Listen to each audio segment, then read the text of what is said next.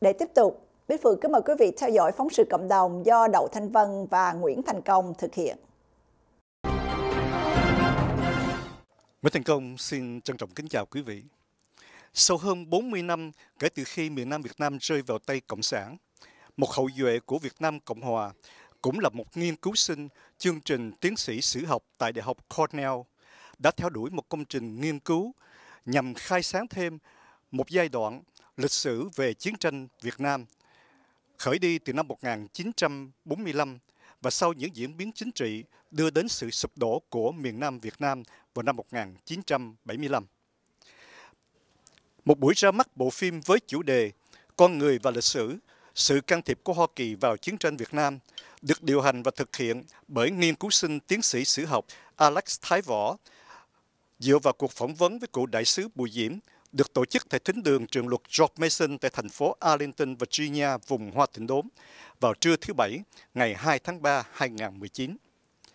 Đây là một bộ phim tài liệu bằng Việt ngữ, gồm 15 phần, dài 17 tiếng đồng hồ, được thực hiện với mục đích nghiên cứu theo thể thức lịch sử truyền khẩu, oral history, nằm trong chương trình học thuật của Thái Võ, nghiên cứu sinh tiến sĩ,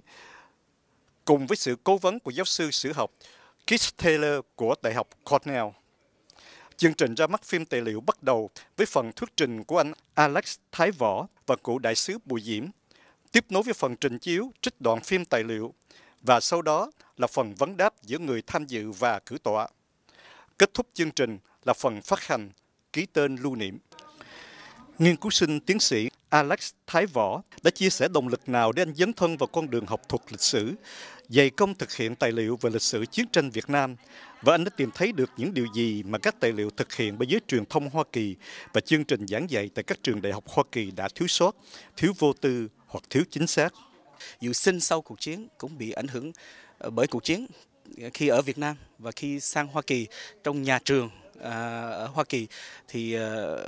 khi học sử về Việt Nam nhất là sử về chiến tranh Việt Nam thì nó cũng có những cái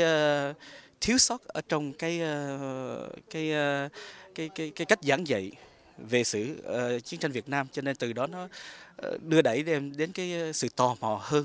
về cái uh, cái, cái cái cái lịch sử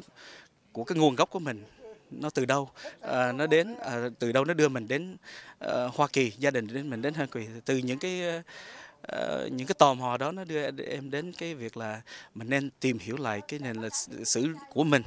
À, của ông cha à, ờ, của Việt Nam. Thì thành vậy cho nên em đã đi đăng ký vào cái à, cái ngành sử học ở Hoa Kỳ đây nhưng mà có cái là ờ, cái bộ phim này qua cái bộ phim này thì em chỉ có một cái ờ, một ờ, em mong là nó là chỉ là một cái sự đóng góp thêm một cái khía cạnh mà à, từ cái khía cạnh của người Việt Nam nhất là người Việt Nam bên cái gọi là miền Nam Việt Nam. À, một cái tiếng nói à, khác à, để nó bổ sung vào những cái giai đoạn hay là những cái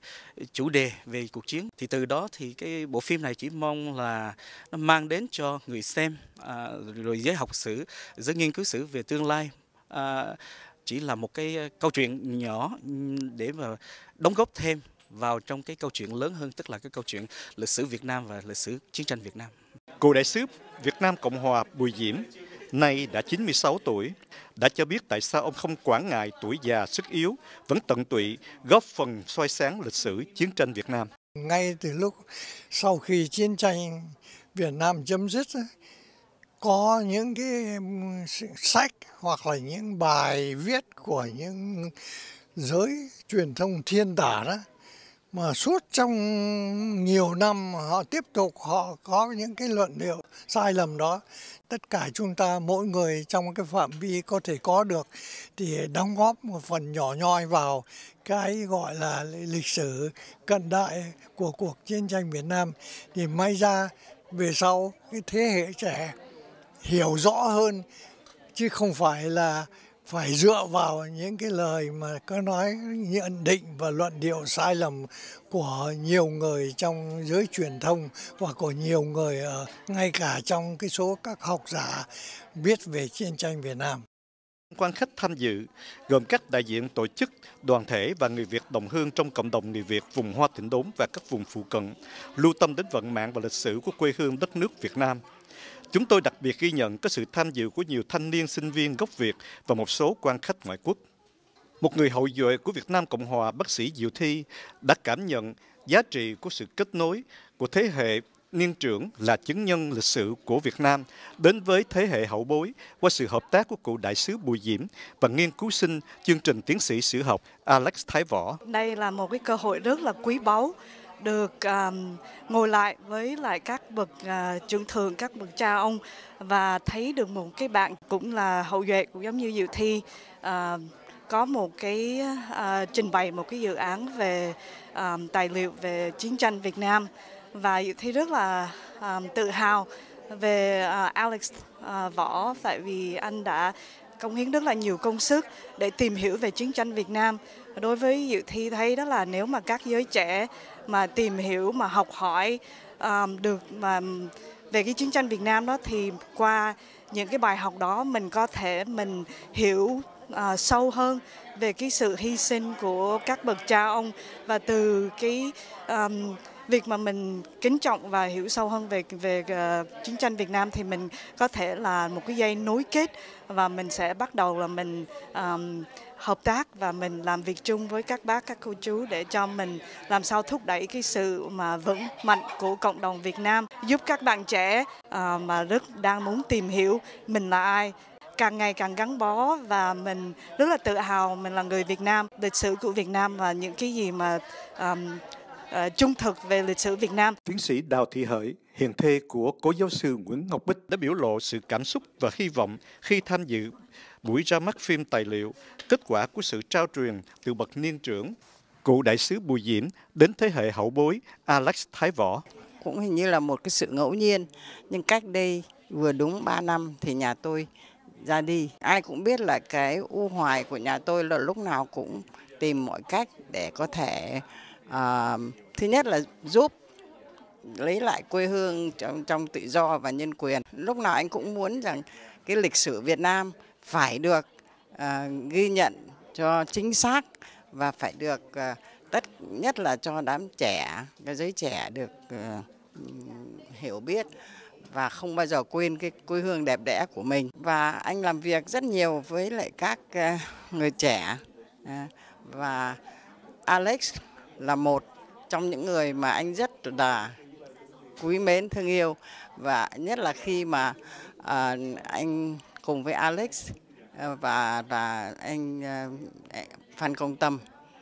tổ chức cái vụ làm việc à, nói nói về tiếng nói của của nước của Việt Nam Cộng Hòa ở trên Đại học Cornell. Và sau này thì là Alex với anh đã làm việc rất nhiều để mà làm cái lịch sử truyền khẩu này ờ, và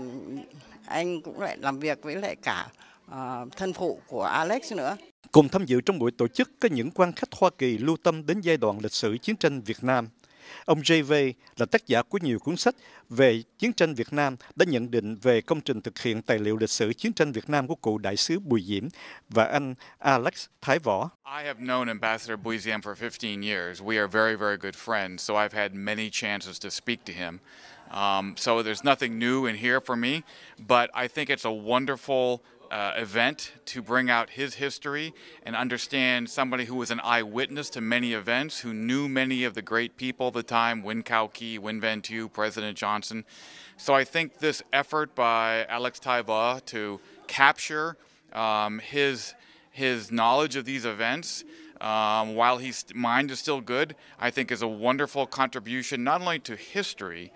but specifically to Vietnamese history, because he was a man who was who was at the very center of many of the historic events of this time frame. So I, I could not support this more. I'm very, very happy to have this happen here today. Bên cạnh thành quả của buổi tổ chức phim tài liệu, hội bảo của hậu duệ Việt Nam Cộng Hòa